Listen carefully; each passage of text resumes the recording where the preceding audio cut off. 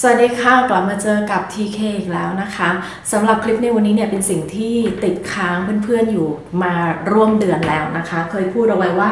เรามากระทำการพิสูจน์แป้งของลอร่าเมอร์เซียกันดีกว่าว่า มันคุมมันได้ดีจริงอย่างที่หลายๆ คนเขาพูดถึงกันหรือเปล่านะคะ สิ่งนี้เนี่ยเป็นสิ่งที่เชื่อว่าสาวๆหลายคนเนี่ยมีแล้วนะคะ แล้วก็เชื่อว่าสาวๆอีกหลายคนเช่นเดียวกันที่ยังไม่เคยมีแต่ว่า ยังอยากได้อยู่ยังจดจดจ้องจ้องอยู่นะคะ มาดูกันดีกว่าว่าแป้งตัวนี้เนี่ยเขาทำอะไรได้บ้างแล้วก็เขาทำได้อย่างที่หลาย ๆ คนพูดถึงหรือเปล่านะคะ คลิปนี้ส่วนตัวเองเนี่ยอยากรู้เหมือนกันว่าไอ้ที่เขาที่เราใช้ใช้มาที่เราคิดว่ามันดีเนี่ยมันดีจริงหรือเปล่า มันดีแค่ไหน แล้วก็มันดียังไงนะคะ ก็สิ่งที่พูดถึงก็คือแป้งตัวนี้นั่นเองนะคะ หน้าตาเป็นแบบนี้ของ r a l a Mercier นะคะ loose setting powder loose ก็คือเป็นแป้งที่มันไม่ได้อัดแข็งมา มันเป็นผงผงมาแบบนี้นะคะ ลักษณะของผลิตภัณฑ์ก็มาเป็นแบบนี้ แล้วก็สี translucent translucent ก็คืออแปลว่าโปร่งแสงนะคะ ก็คือแป้งตัวนี้เนี่ยเมื่อใช้ลงไปแล้วเนี่ยเขาจะไม่เปลี่ยนสีบนใบหน้าเราจะไม่เปลี่ยนสีรองพื้นที่เราลงไปแล้วก็คือมันจะไม่ไม่ ส่งผลต่อเรื่องของสีบนใบหน้านะคะ วันนี้เนี่ยทีเคแต่งหน้าไป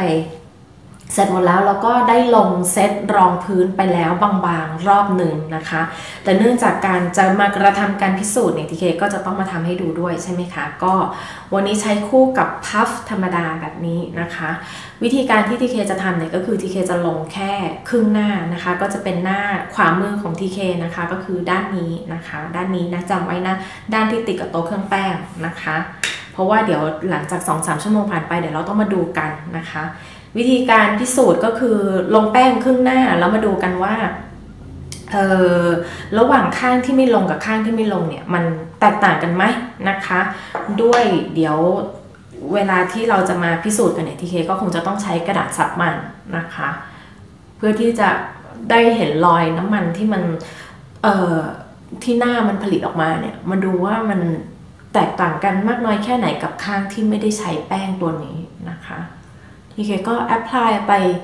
ไม่เยอะมากนะคะ แค่นี้เองก็แค่แทบๆลงไปบนใบหน้านะคะ แล้วก็เเมื่อกี้บอกไปยังว่าผิวหน้าเป็นยังไงถ้าพูดซ้ำที่เคขอโทษนะคะ ก็คือเป็นคนผิวผสมนะคะ บริเวณทีโซนเนี่ยมันแล้วก็ยูโซนตรงนี้แห้งนะคะแล้วก็ตอนนี้เริ่มมีแบบโชว์ความแห้งความอะไรบริเวณตรงนี้ด้วยนะคะ ก็อะ นะสิ่งหนึ่งที่บอกได้เลยนะคะ เรื่องความมันยังบอกไม่ได้นะรอพิสูจน์พร้อมกัน แต่ว่าสิ่งหนึ่งที่บอกได้เลยเนี่ยรู้สึกว่าแป้งตัวนี้เนี่ยเขาเออมีลักษณะของการโปร่งแสงจริงนะคะ ก็คือเห็นไหมว่ามันไม่ได้เปลี่ยนสีบนใบหน้าของ TK นะคะ แป้งเนื้อละเอียดแล้วก็ไม่เห็นความวาวนะไม่เห็นความวาวของแป้งนะคะแล้วก็เออรู้สึกว่า ใช้แล้วเนี่ยเขาทำให้หน้าเรานวลผ่องขึ้นมานะคะ เห็นสังเกตได้จาก สองข้างเนี่ยตรงเนี้ยทีเคเริ่มมีความชายแล้วนะคะ คือข้างที่ไม่ได้ใช้ไม่ได้ทาแป้งลงไป แต่ว่าข้างนี้เนี่ยก็รู้สึกว่ามันหน้ามันนวลมันผ่องนะคะ อันนี้ก็คือสิ่งที่สามารถตอบได้ณตอนนี้นะ แล้วเดี๋ยวอีกสักพักหนึ่งเรากลับมาดูกันอีกทีหนึ่งนะคะว่าผิวหน้าของทีเคเนี่ยจะเป็นยังไง แล้วก็ขณะนี้เนี่ยเป็นเวลาบ่ายโมงนะคะบ่ายโมงสามนาที กลับมาเจอกันอีกครั้งหนึ่งนะคะ ขณะนี้เป็นเวลา6โมงครึ่งนะ ซึ่ง TK ลงแป้งเอาไว้ตั้งแต่ทีแรกเนี่ยก็ประมาณบ่ายโมงนะคะ 6 ชั่วโมงครึ่งผ่านไป in person รู้สึกว่าหน้าที่ไม่ได้ใช้แป้ง r o l a n Mercier ทับลงรองพื้นไปเนี่ย รู้สึกว่ามันจะมีความมันเห็นอย่างได้ชัดเจนนะคะ ด้วยตาเปล่าก็คือข้างที่ไม่ได้ลงเนี่ย จะมีความมันมากกว่าข้างที่ลงแป้งนะคะ แล้วก็อีกเรื่องหนึ่งก็คือตอนที่ TK เซตแป้งเนี่ยเป็นการเซตลงไปบนรองพื้นนะคะ รูขุมขนของด้านที่มีแป้งเนี่ยจะเห็นได้ชัดเจนน้อยกว่าข้างที่ไม่ได้ลงแป้งนะคะ ก็ อันนั้นก็เป็นสิ่งที่หลังจากที่ 6 ชั่วโมงผ่านไปเรารู้สึกว่าอันนี้เป็นสิ่งที่เห็นได้ชัดเจนนะคะ เดี๋ยวทีนี้วันนี้เราก็จะมาใช้กระดาษซับมันนะเราพิสูจน์กันว่ามันข้างไหนมันจะโชว์ความมันมากกว่ากันนะคะ สิ่งที่ใช้ในวันนี้ก็คือ clean and clear oil absorbing sheet นะคะหน้าตาเป็นแบบนี้นะคะ ก็คือกระดาษซับมันแผ่นสีฟ้าธรรมดาธรรมดานะคะ ลืมกันไปหรือยังข้างติดโต๊ะเครื่องแป้งนี่เป็นข้างที่ลงแป้งนะคะ ข้างนี้ข้างซ้ายมือของทีเคเนี่ยคือข้างที่ไม่ได้ลงแป้งนะคะ เดี๋ยวเรามาเริ่มเลยก็ทีเคจะขอเริ่มบริเวณกึ่งกลางหน้าก่อนละกัน เพราะว่าเป็นบริเวณที่มีความมันมากที่สุดนะคะ ก็กดลงไปแบบนี้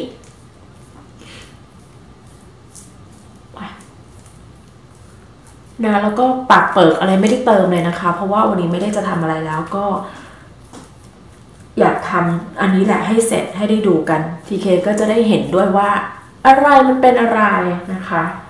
ก็ซับหน้ามันออกนะคะแล้วก็เดี๋ยวจะซับบนบริเวณหน้าผากออกด้วย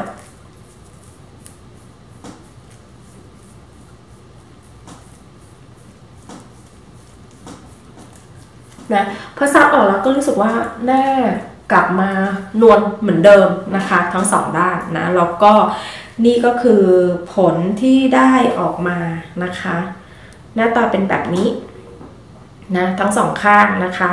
ข้างนี้มีแป้งรอล่านะคะ ข้างนี้ไม่มีแป้งนะก็รู้สึกว่ายังไงทีเครู้สึกว่าที่ออกมาจากที่ติดมาที่กระดาษเนี้ยไม่ได้มีความแตกต่างอะไรมากนะคะ รู้สึกว่ามันออกมาได้พร้อม ๆ กันอะ่ะ เขาเรียกว่าอะไรไม่ใช่พร้อมๆกันเท่า ๆกันนะคะ ความมันที่ซับออกมาได้นะดูดูแล้วเป็นยังไงทีเคว่ามันพอๆกันนะคะ เท่าๆกัน แต่ว่าบนบนใบหน้าเนี่ยบนใบหน้าก่อนที่จะซับออกนะคะ ก็คืออย่างที่ทีเคพูดไปเมื่อกี้ก็คือเห็นชัดเจนนะว่าหน้าหน้าด้านนี้เนี่ยจะมีความมันอยู่มากกว่านะคะ หลังจากที่ซับแล้วก็รู้สึกว่าเออหน้าเราก็กลับมา โอเคเหมือนเดิมนะคะ ทีนี้เดี๋ยวทีเคจะลองทัชอัพดีกว่าว่าทัชอัพทั้งทั้งสองด้านเลยว่า ตอนเออหกชั่วโมงครึ่งผ่านไปแล้ว ถ้าเรามีเหตุการณ์ที่เราจะต้องทัชอัพเนี่ย มันจะทำให้เราได้หน้าที่แบบนวลผ่องกลับมาเหมือนเดิมหรือไม่นะคะ ก็วิธีเดิมนะ เอาแป้งลงพัฟนะคะ แล้วก็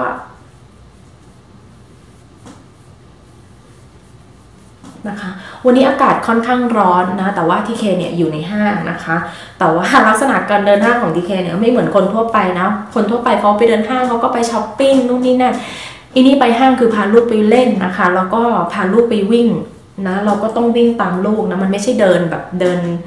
เดินแบบอ้อยอิ่งอะนะบอกว่าแทบจะต้องวิ่งตามไปกับลูกด้วยนะคะอะก็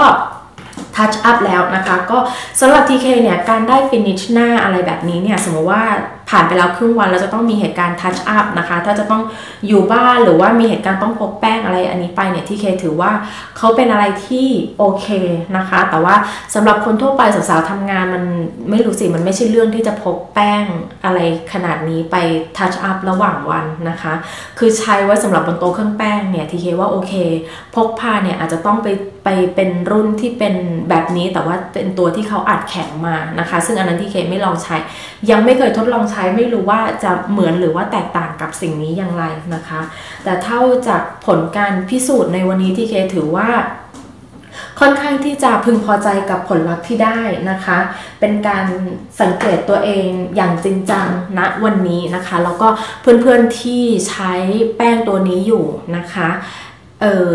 อยากทดลองอยากจะไปทดลองใช้วิธีเดียวกันกับทีเคก็ได้เพื่อที่เราจะได้สังเกตว่าเออ ตัวเราเองกับปฏิกิริยาที่มีต่อสิ่งนี้เนี่ยมันเป็นยังไงนะคะ เพื่อที่อยู่จะได้รู้ได้ในอนาคตว่า